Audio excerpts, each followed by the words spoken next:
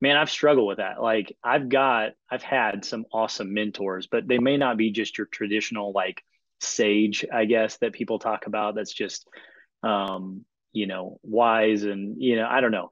Um, of course, my dad, like I'll talk about that. Um, my dad was, um, and still is, you know, he passed away actually in 2007, but to this day, the lessons that I learned from him, um, I still carry through to today. He made me into the man I am today through just, his example of being a good husband, a good father. Um, he was an entrepreneur as well. So I grew up with lots of different business ideas, um, you know, from travel agencies to printing companies to, you know, I had my car dealer's license at one point um, with him and, you know, lots of different stuff. Um, so definitely him. I mean, that he would definitely be the main one I would, I would you know bring up. But um, to this day you know uh, my pastor wayne bushnell at northside he's a fantastic guy. And um, you know on a spiritual side definitely trust him. Um, i've got two brothers. You know we talk a lot about business that we bounce ideas off of. Of course adam my business partner.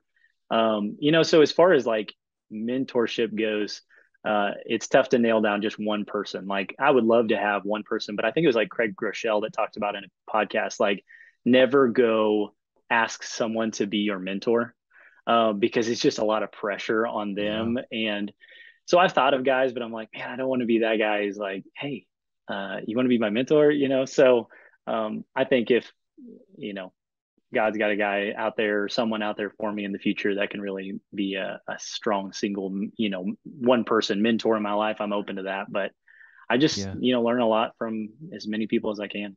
Yeah, and I think that's a good way to do it. I've I've always I don't know if I've always felt this way, but recently um, I felt more like a mentor should look like you know a gaggle of of people around you pouring into you, and not just mm-hmm. one person. Because because you're right. exactly right. That's a lot of pressure for one person to have, because uh, no one's perfect. So for one person to almost idolize someone else and want to do everything exactly like they do is a lot of pressure. So yeah, right. I'm, I'm a full belief that you should get as many great people around you that you can and learn from as many great people as you can. So